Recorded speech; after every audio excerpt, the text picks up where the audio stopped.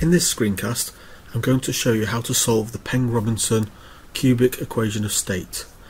Now, in order to solve the cubic, it's uh, more convenient to put it into this form here.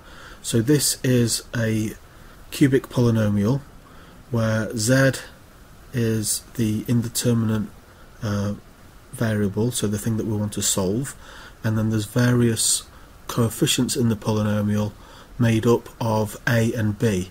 So A is defined here, so it's the lowercase a, the Peng-Robinson attraction parameter that we've seen in previous videos, pressure, gas constant temperature, B equals the lowercase b here, which is the Peng-Robinson co-volume, again we've seen this in the previous video, and then again pressure R and T, and Z is pressure times volume divided by gas constant times temperature.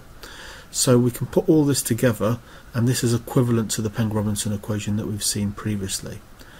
Now the reason that we're putting it in terms of compressibility is that it's a lot more convenient to solve it this way.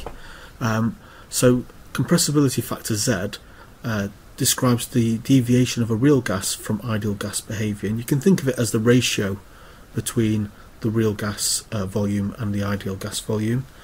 Um, and it's also very useful for modifying the ideal gas law to account for real gas behaviour. So you write that as PV equals ZRT.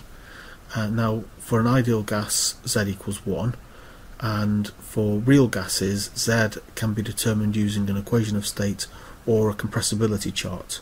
So if you want to find out about compressibility charts, have a look online and you'll see examples of those. Now in terms of using this equation we've seen this type of plot here before where we can plot out the pressure volume behaviour for Peng-Robinson and we can also plot the saturated vapour pressure at that particular uh, temperature. So that's what we've done here at 284 Kelvin.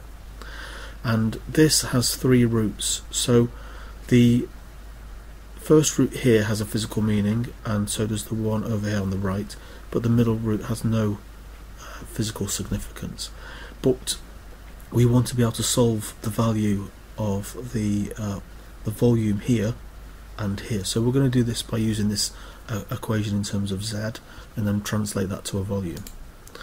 Okay so for this particular example we've got the gas constant the critical temperature and pressure and then the temperature and pressure that we're actually working at. So if you just go back to the plot, this is plotted out for 284 Kelvin and this pressure here is actually 4.6 megapascals. So we're going to use all of that. A has been calculated for us here uh, and so has B. We've got the acentric factor and then kappa has been calculated and then we can get A of T to be able to work that out. Now uh, the cubic here we can write it out as a polynomial like this. Um, we need to know the value of A, capital A and capital B so they've been calculated. So this one is shown here so it's A times P divided by R squared and T squared and then we've got the b value here. So if you just go back to the theory you can see that's those two equations being implemented. Okay so now we can work out the coefficients so m3 just equals 1 um, m2 equals minus brackets 1 minus b close brackets. So that's been calculated.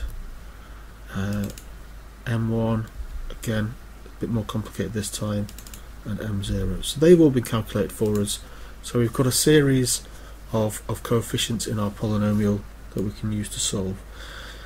Now there's various different ways of solving cubics and the way the option that I've gone for is just a custom function that's been written in VBA code and it's equals cubic. You highlight the coefficients and then you can actually use this as an array function. So let me just show you how this works going to copy that.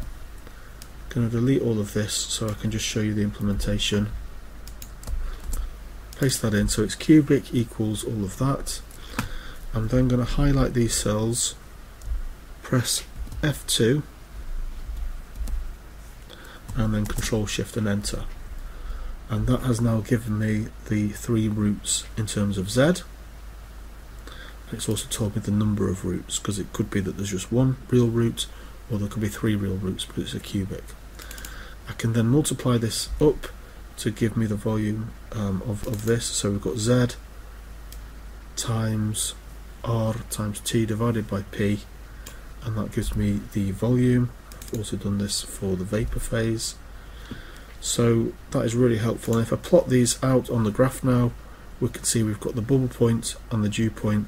So these are the values that we've calculated uh, using this polynomial form of the Peng-Robinson equation and so that is uh, an introduction and a demonstration of using this cubic equation solver um, and, and demonstrating how you can solve the roots for the Peng-Robinson equation of state.